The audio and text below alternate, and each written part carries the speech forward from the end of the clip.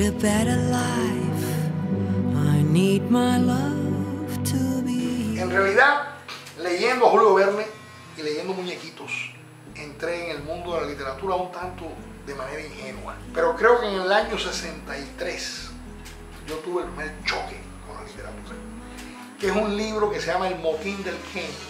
Entendí que había personajes, que había situaciones, que había conflictos, que había palabras, que había algo que me llamaba la atención y que era muy fuerte para mí.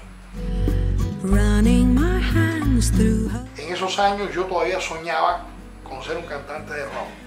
Eso es lo que yo quería ser. Yo oía los Beatles, los Rolling Stones, oía a Polanca. Yo quería cantar. Y de hecho cantaba.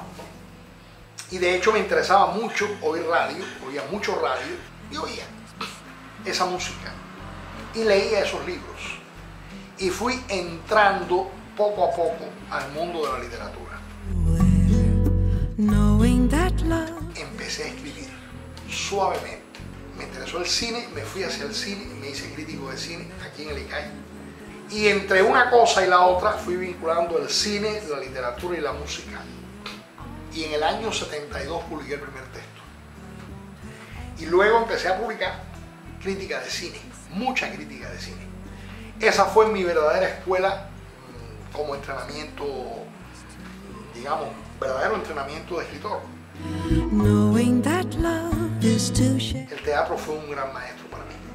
No solo lo fue el cine, también lo fue el teatro. Y ese es un periodo muy rico donde yo también hice contactos con el- la vanguardia teatral cubana, que todavía estaba en activo. Y ahí empecé a entender lo que podía ser el trabajo con el teatro. Entonces, en esas dos direcciones me moví. Ya en ese momento me había alejado un tanto del cine, me había acercado más al teatro, pero seguía siempre fiel a la música y a la literatura que han sido, digamos, los dos territorios míos más grandes.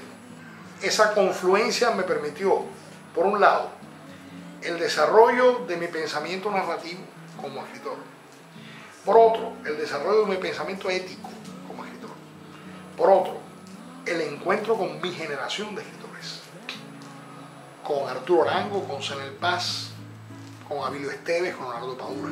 But of all these friends and Lo que yo he aprendido con los Beatles es el esfuerzo que siempre hicieron por hacer un álbum diferente cada vez, que no se pareciera al álbum anterior.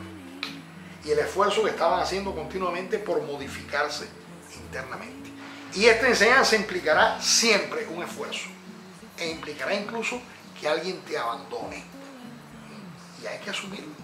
Hay que asumir que algún público deje de leerte o deje de escucharte. No importa. Tu, tu deber es seguir. Si de verdad esa es una necesidad para ti y tienes que hacerlo.